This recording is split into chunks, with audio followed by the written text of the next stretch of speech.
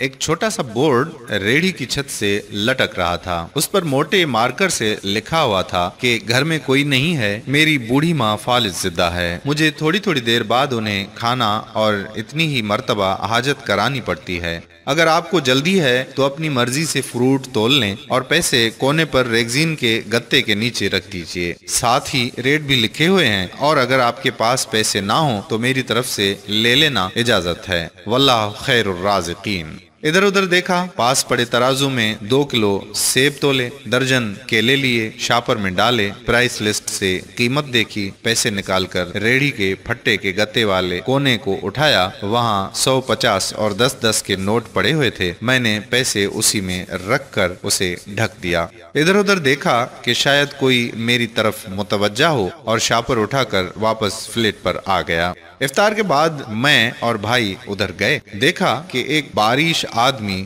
داڑھی آدھی کالی، آدھی سفید، ریڑھی کو دھکا لگا کر بس جانے ہی والا تھا، وہ ہمیں دیکھ کر مسکرایا اور بولا، صاحب، پھل تو ختم ہو گیا نام پوچھا تو بولا، خادم حسین پھر ہم سامنے ڈھابے پہ بیٹھے تھے، چائے آئی، کہنے لگا کہ پچھلے تین سال سے اماں بستر پر ہے، کچھ نفسیاتی سی بھی ہو گئی ہے اور اب تو فالج بھی ہو گیا ہے، میرا کوئی بال بچہ نہیں ہے، بیوی مر گئی ہے صرف میں ہوں اور میری اماں۔ اماں کی دیکھ بھال کرنے والا کوئی نہیں، اس لیے مجھے ہر وقت اماں کا خیال رکھنا پڑتا ہے۔ ایک دن میں نے اماں کے پاؤں دباتے ہوئے بڑی نرمی سے کہا کہ اماں، تیری تیمارداری کو تو بڑا جی کرتا ہے، پر جیب میں کچھ نہیں اور تو مجھے کمرے سے ہلنے دیتی نہیں۔ کہتی ہے، تو جاتا ہے تو جی گھبراتا ہے۔ تو ہی بتا میں کیا کروں۔ اب کیا غیب سے کھانا اترے گا؟ نہ میں بنی اسرائیل کا جنا ہوں، نہ تو موسا کی ماں ہے۔ کیا کروں؟ یہ سن کر اماں نے ہامتے کامتے اٹھنے کی کوشش کی۔ میں نے تکیا اونچا کر کے اس کو بٹھایا، ٹیک لگوائی۔ انہوں نے جھریوں والا چہرہ اٹھا کر اپنے کمزور ہاتھوں کا پیالہ بنایا اور نہ جانے رب العالمین سے کیا بات کی۔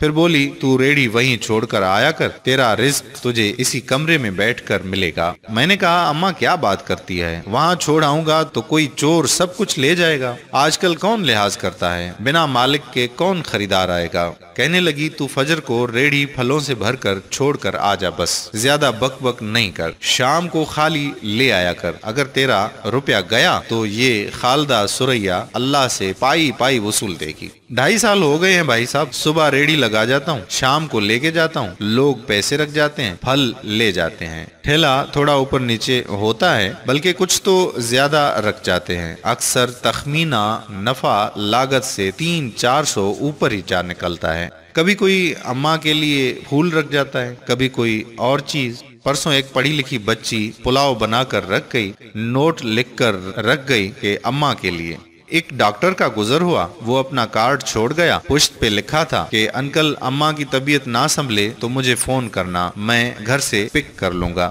کسی حاجی صاحب کا گزر ہوا تو اجوا کھجور کا پیکٹ چھوڑ گیا۔ کوئی جوڑا شاپنگ کر کے گزرا تو فروٹ لیتے ہوئے اماں کے لیے سوٹ رکھ گیا۔ روزانہ ایسا کچھ نہ کچھ میرے رزق کے ساتھ موجود ہوتا ہے۔ نہ اماں ہلنے دیتی ہے، نہ اللہ رکنے دیتا ہے۔ اماں تو کہتی ہے کہ تیرا پھل بیچنے کے لیے اللہ خود نیچے اتر آتا ہے اور بیچ باچ جاتا ہے۔ بھائی، وہ سونا رب ایک تو رزاق ہے اور اوپر سے ریٹیلر بھی ہے۔ اللہ اللہ۔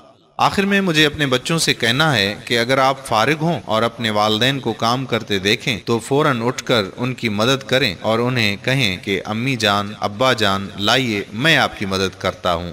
پھر دیکھیں دنیا اور آخرت کی کامیابیاں کیسے تمہارے قدم چومتی ہیں۔ انشاءاللہ۔